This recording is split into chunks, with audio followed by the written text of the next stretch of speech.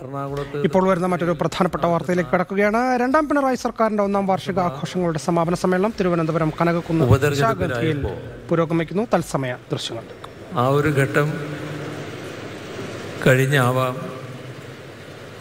എന്നാലോചിച്ചതുകൊണ്ടാണ് ഇന്നേക്ക് ഇത് മാറ്റിയത്. മുപ്പത്തൊന്നിന് തിരഞ്ഞെടുപ്പ് ഒന്നാം തീയതി ആകാമായിരുന്നു. പക്ഷേ ഒന്നാം തീയതി സംസ്ഥാനത്താകെ ഈ കഴിഞ്ഞ രണ്ടു വർഷം സ്കൂളിൽ പോകാൻ കഴിയാതിരുന്ന കുട്ടികൾ സ്കൂളിൽ പോകുമ്പോഴുണ്ടാകുന്ന അവരുടെ ആഹ്ലാദത്തിൽ എല്ലാവരും പങ്കുകൊള്ളണം. എന്നാഗ്രഹിക്കുന്നവരാണ്. അതുകൊണ്ടാണ് ഇന്നലെ ഒഴിവാക്കിയത്. ഇവിടെ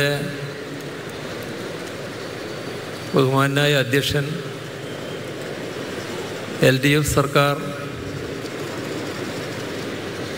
എങ്ങനെയാണ് പ്രവർത്തിക്കുന്നത് എന്നതിനെക്കുറിച്ച് പ്രതിപാദിച്ചു കഴിഞ്ഞിട്ടുണ്ട്. നമ്മുടെ രാജ്യത്ത് പൊതുവെ നടപ്പാക്കുന്ന അജണ്ടകളിൽ നിന്ന് വ്യത്യസ്തമായ ഒരു നിലപാടാണ് കേരളത്തിൽ സർക്കാർ സ്വീകരിച്ചു പോകുന്നത്. അതുകൊണ്ട് തന്നെ കൃത്യമായൊരു ബദൽ വലതുപക്ഷ അജണ്ടക്കുണ്ട് എന്ന് ഒരു ചെറിയ സംസ്ഥാനമായ നമുക്ക് തെളിയിക്കാനായിരിക്കുന്നു. രാജ്യത്ത് ആഗോളവൽക്കരണ ഉദാരവൽക്കരണ നടപടികളുടെ ഭാഗമായി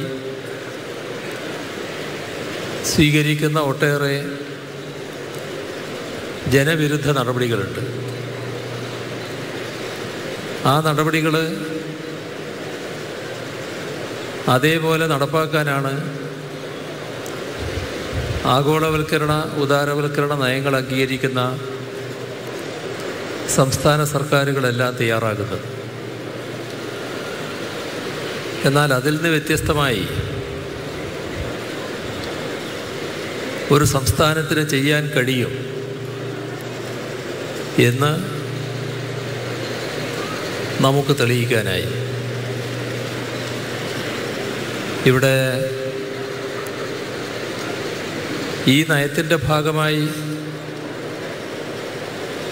ജനങ്ങൾക്കെതിരെയുള്ള നടപടികളിലാണ് വലതുപക്ഷം കേന്ദ്രീകരിച്ചതെങ്കിൽ ജനങ്ങൾക്ക് ആശ്വാസം നൽകുക. അത് വിവിധ രൂപത്തിലാണ്. ആ നിലപാടാണ് എൽ ഡി എഫ് സർക്കാർ സ്വീകരിച്ചത്.